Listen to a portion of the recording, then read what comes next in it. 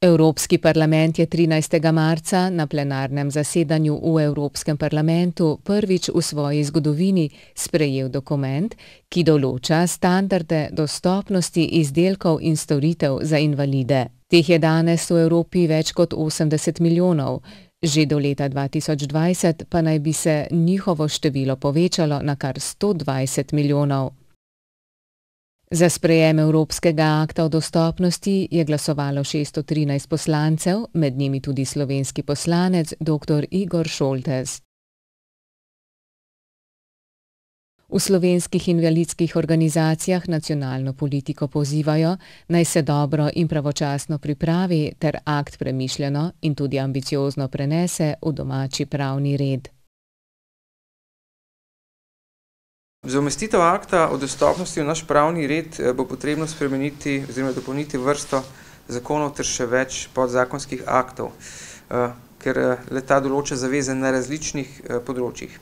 Zato državnega zbora, vlade in pristojnih ministrstev pričakujemo, da v sodelovanju z invalidi in invalidskimi organizacijami tudi zaradi pozitivnih izzivov in koristi, ki bomo deležni tako invalidi kakor tudi širše okolje, nenazadnje tudi gospodarstvo, čim prej pristopijo, pristopimo k pripravi vsega potrebnega za njegovo polno transpozicijo v naš pravni red. Z natančno opredeljenimi nalogami in odgovornostmi posameznih ministrstev, se pravi, kdo naj pripravi katere zakonske spremembe in katere podzakonske akte, vključno z neko trdno določeno časovnico, predvsem pa z določitvijo neke enotne fokalne oziroma nadzorne in odgovorne točke.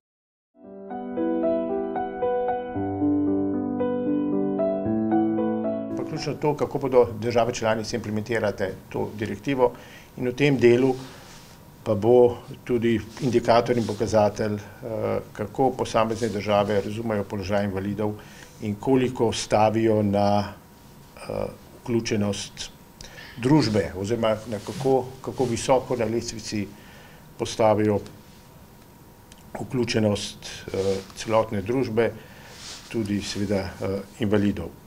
Tudi ne bi bil tak, kot je, če pri pri njenem nastanku ne bi sodelovali tudi sami invalidi v okviru tudi evropskega združenja, z njimi smo zelo dobro sodelovali ves čas procesa.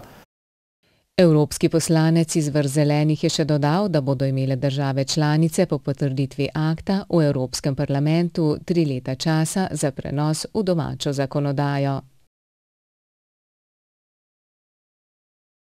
Ta prizadevanja morajo potem videti in biti ovrednotena tudi v proračunu.